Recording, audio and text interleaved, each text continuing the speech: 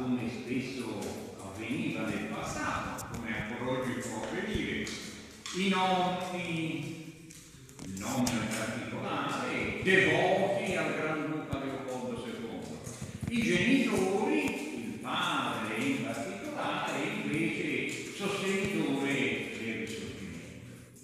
E il 27 aprile 1859 cosa questo bambino dalla finestra? Una grande manifestazione in piazza e allora si chiamava Piazza Barbano e vede in casa sua una bandiera che era stata cucita che viene messa alla finestra e questa bandiera è una bandiera tricolore. Quindi questo bambino racconterà dopo una testimonianza molto toccante di un bambino di questo momento. Guido nobili memorie lontane. E l'ultimo libro invece è in, di mia realizzazione. Quindi Giovanni Cipriani, Michele Sardi, Michele Sardi, le memorie e l'archivio di un filo lorenese.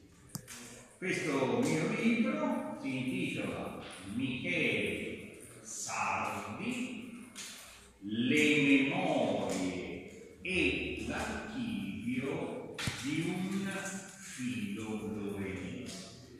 Questo libro è invece stato pubblicato da una casa editrice esistente, la casa editrice Nicomp di Piazza Madonna degli Otto Brandini ed è uscito nel 2007, quindi un libro più recente.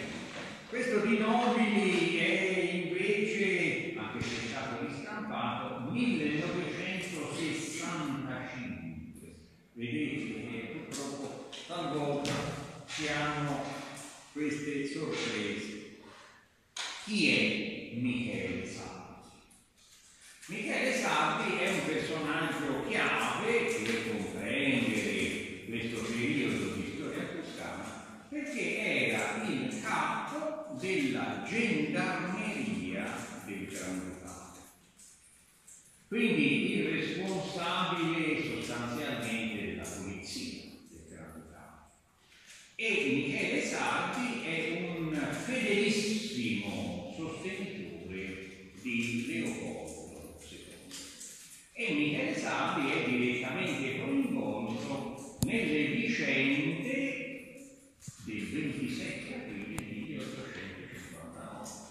C'è questa grande manifestazione in piazza Barbana, oggi piazza Indipendenza, e il Gran Duca di fronte a questa realtà e di fronte all'inizio di fatto della seconda guerra di indipendenza decide di abbandonare Firenze e di trasferirsi in Austria. Per questo voi trovate via 27 aprile e piazza Indipendenza, perché il 27 aprile 1859 Leopoldo II lascia Firenze e la piazza che è stata il simbolo di questa manifestazione diventa piazza della indipendenza. Ma Michele Sardi che ruolo ha? Un ruolo importantissimo perché come sempre avviene la polizia di fronte alle realtà politiche cosa cerca di fare? Di mediare tra le parti. Chi è uno dei capi della manifestazione del 27 aprile 1850. Chi è dunque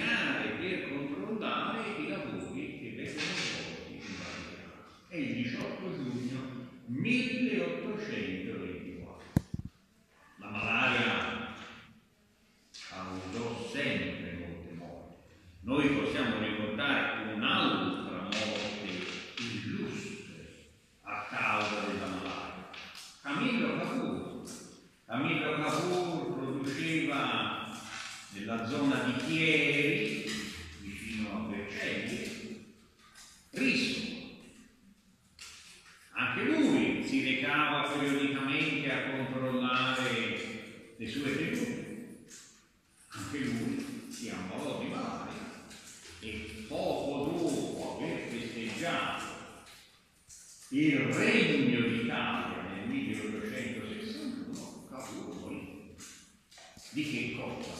Di malaria. Quindi vedete questa malattia una malattia sempre ricorrente, sempre incombente.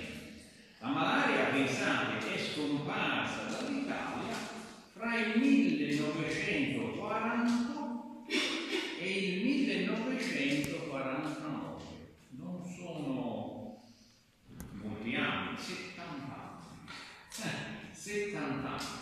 Tra il 1948 e il 1949. Perché la malaria è scomparsa?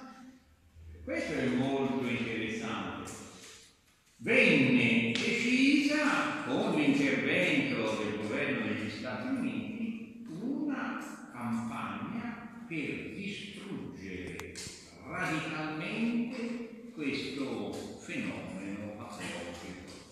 L'Italia era invasa dalle paludi, invasa dalle zanzare. L'anofele è la zanzara che in particolare trasmette la malaria.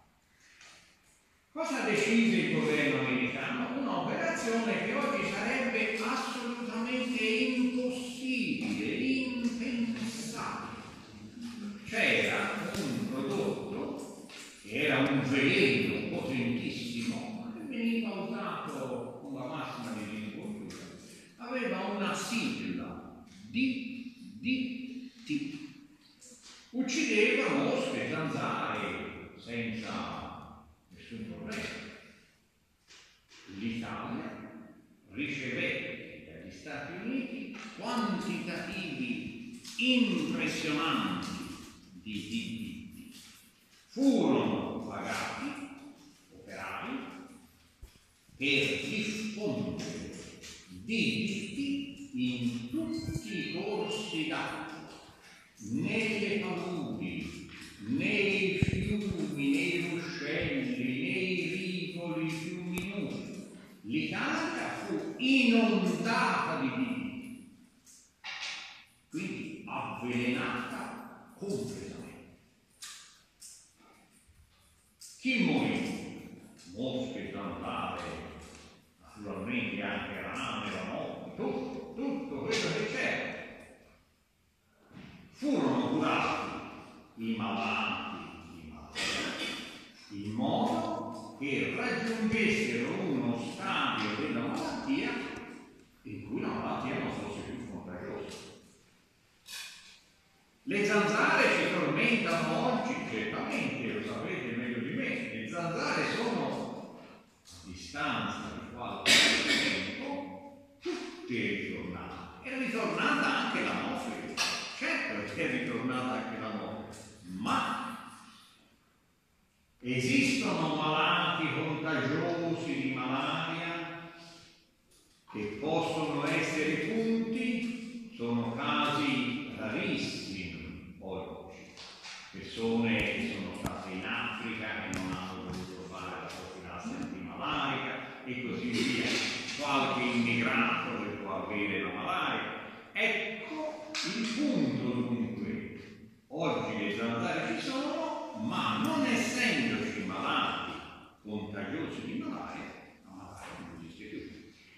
Questa operazione incredibile viene compiuta fra il 1948 e il 1949. Se vi capita talvolta di vedere a casa Comiche scritto in nero 1948-1949 DDT, vuol dire che quell'area è stata irrorata con il DDT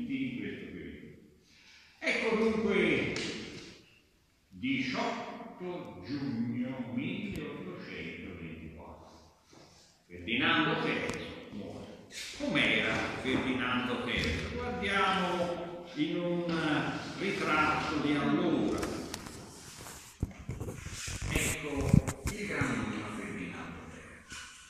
Questo è un ritratto eseguito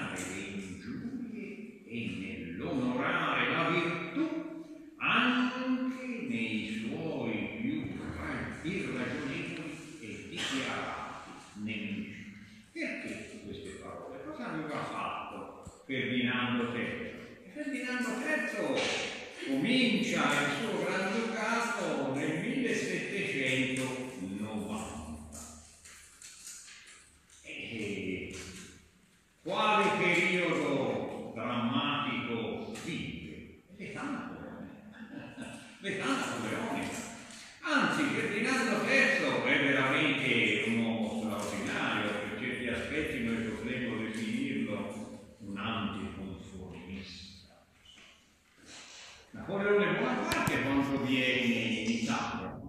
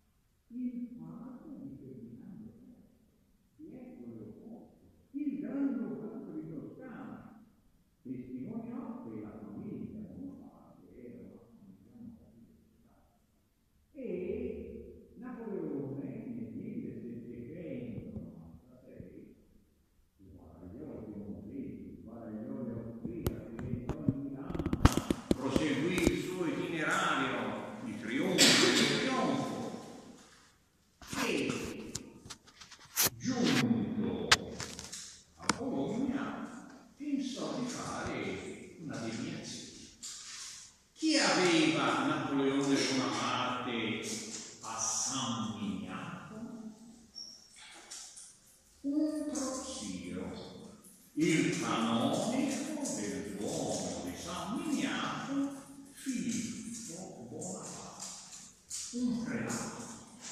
E Napoleone, generale vittorioso, celeberrimo in quel momento, cosa pensò di fare? Una visita privata a San Miniato. Chiede il permesso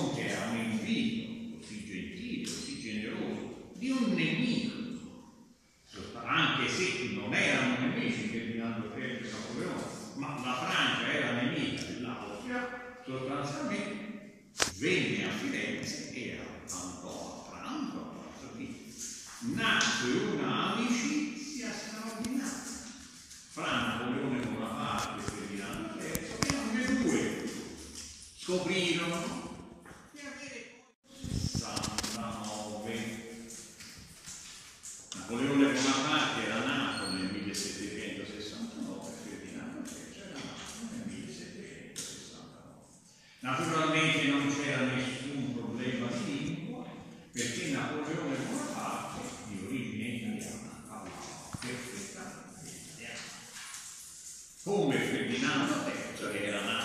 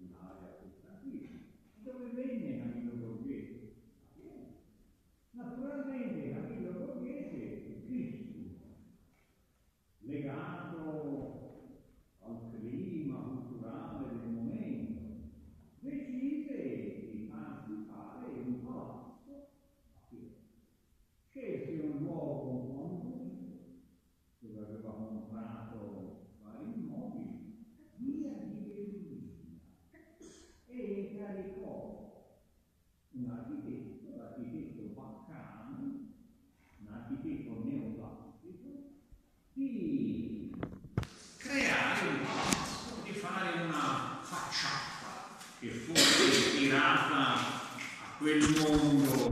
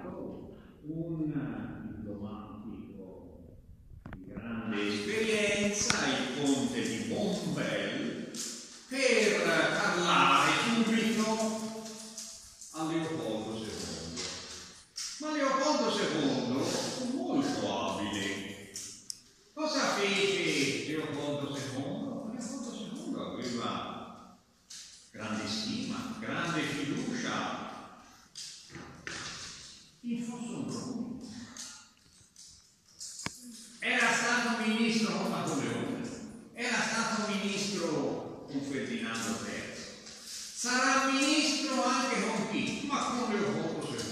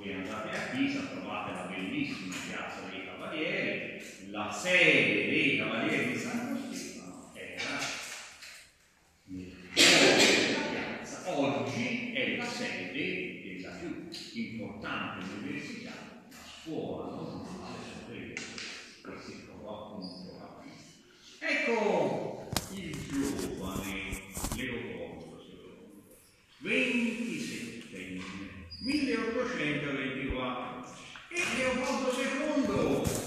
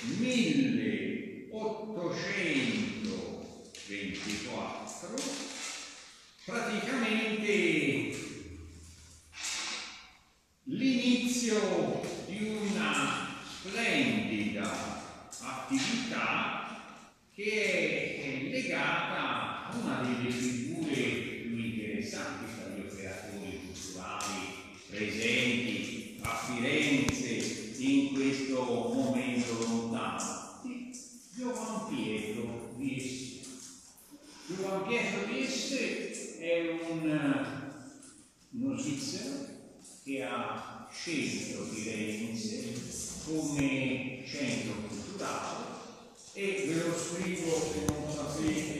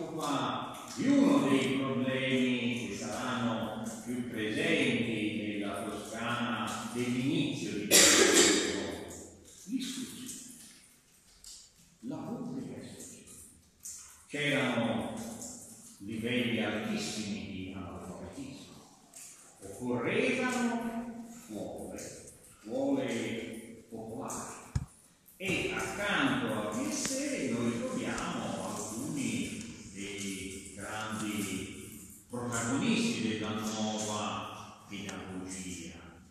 Viessé svizzero si ispirava a un altro celebre svizzero, pedagogista, Pestalozzi.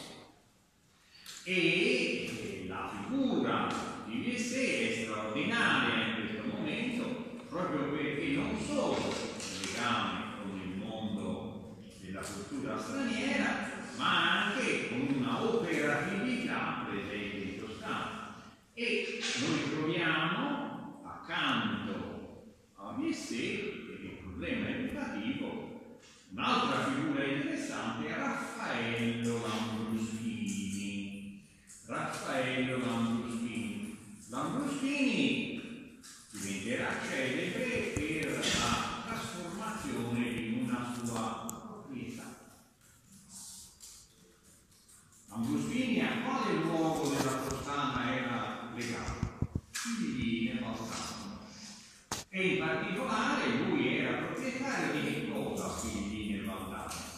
della fattoria di San Cervone. E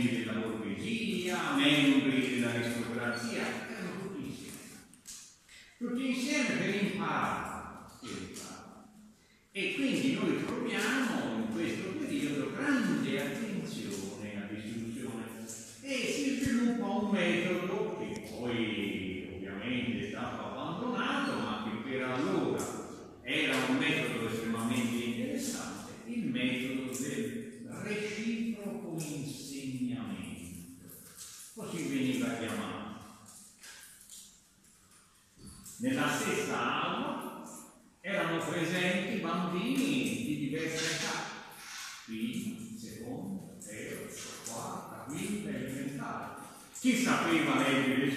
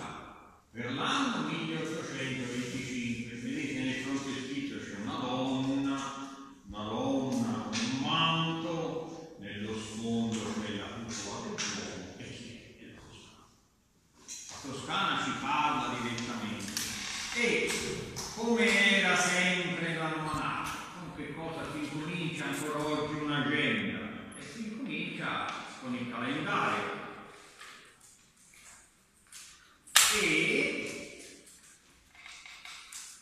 chi compariva?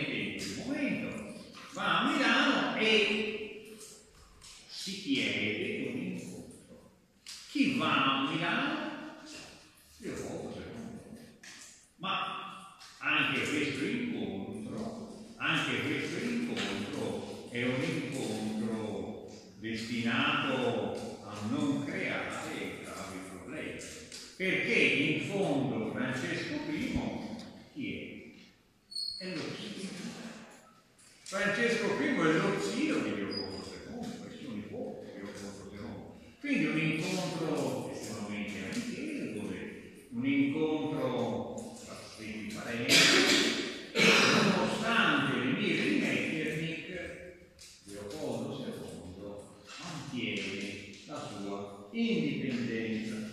E il 1825 è un anno davvero interessante, soprattutto per eh, l'iniziativa di un celebre medico che è professore all'Università di Pisa. Si chiama Giacomo Barcellotti, un nome purtroppo oggi ma Giacomo Barsellotti è una figura di straordinario interesse.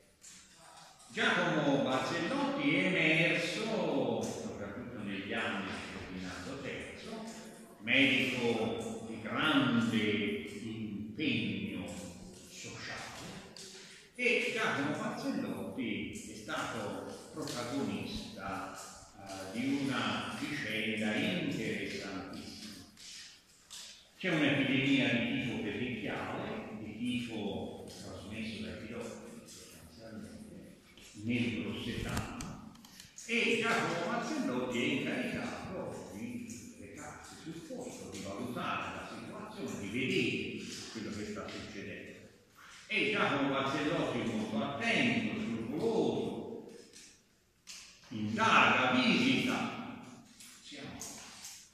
prende anche lui malattia estremamente pericolosa, soprattutto allora perché non esistevano terapie. E Barzellotti coglie questa opportunità con straordinario coraggio, descrivendo tutti i sintomi della malattia, l'andamento della malattia, le piccole terapie che adotta e scrive un'opera diventata poi celebre nella storia della medicina, Epistola patologica. È un malato di tipo perichiale che descrive tutto ciò che gli sta avvenendo nel corpo. Supererà, fortunatamente, la malattia uscirà, ma la sua descrizione è una descrizione impressionante perché lui ci fa vivere giorno per giorno le reazioni del suo corpo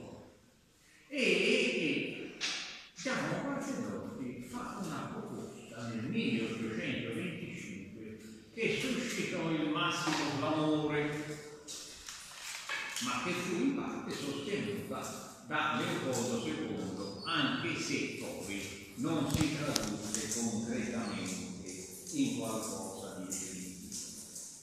Cosa sosteneva Barcellona? Che c'erano proprio pochi medici e soprattutto le vaste aree della campagna erano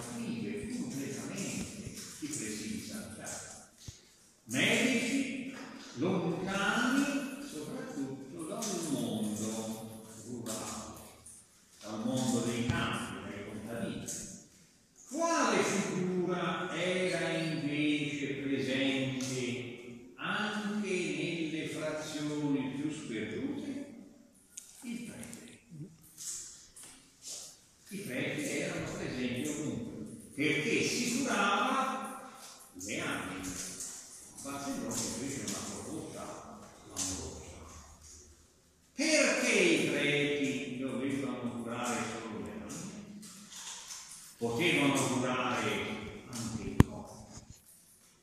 Potevano avere dei rudimenti di medicina e farmacia e intervenire se un medico non era presente in quell'anno o perlomeno iniziare una terapia. E proprio nel 1825, con grande coraggio, Giacomo Mazzellotti scrive quest'opera. Il parroco istruito nella medicina per utilità spirituale e temporale dei suoi popolani. Dialoghi di Giacomo Barzellotti, professore di medicina pratica nell'Università di Pisa. E questo libro viene pubblicato a Pisa nel 1500, 1825 il parroco istruito nella medicina. Praticamente cos'è? È un manuale pratico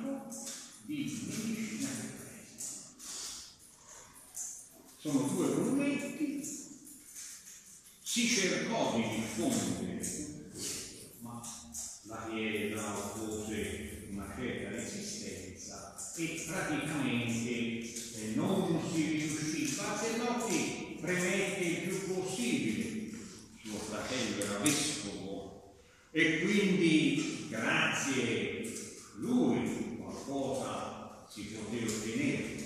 Ma vedete, è un esempio straordinario, si incomincia realmente a avvicinarsi alla popolazione. Ecco il problema delle scuole, ecco il problema della salute e praticamente sono anni straordinari. 1825 l'opera di Barzellotti è realmente straordinaria. E Leopoldo II pensa anche a un'altra realtà. Questo mondo napoleonico era estremamente pratico, un mondo estremamente concreto, illuminista. Cosa aveva favorito Napoleone? Aveva favorito studi per portare a nuove unità di misura. Voi sapete che una delle innovazioni più importanti, di cui è ancora che non facciamo però, è il metro. Ma accanto al metro quale sistema viene introdotto? Il sistema metrico decimale. Vedete delle unità semplici, chiare. Pensate il passato. Il passato era una babele affascinante per alcuni, la negazione della praticità. Qual era la misura? Il braccio. Dal gomito alla fine dell'anno. Il braccio cambia, ovviamente. E poi era stato fissato, c'era il braccio fiorentino, c'era il braccio senese, il braccio pisano. Differenze abissali, monete che cambiavano dal luogo al luogo. E tutto questo aveva creato grandi difficoltà. Pensate che nel passato addirittura il calendario era diverso. Quando cominciava l'anno a Firenze? Forse il primo di gennaio? Assolutamente no. 25 marzo, cioè al momento della annunciazione. L'angelo dice a Maria che genererà Gesù Cristo quando lo dice, noi lo sappiamo perfettamente. Quando nasce Gesù Cristo? 25 dicembre, nove mesi prima, 25 marzo. Ecco l'annunciazione. Inizio dell'anno a Firenze. Ma questo anno riguardava in Toscana tutti gli stati? No. Lucca, per esempio, seguiva il 25 marzo? No, 25 dicembre. Per cui un viaggiatore andava a Lucca, chiedeva in che anno siamo, e gli dicevano un anno, veniva a Firenze, noi attendiamo il 25 marzo per quell'anno. Vedete, quindi c'erano grandi differenze. Di Asburgo-Lorena, o meglio Francesco Stefano di Lorena, già nel 1750 aveva unificato il calendario nel Granducato. Inizio primo di gennaio, dal 1750 inizio prima, di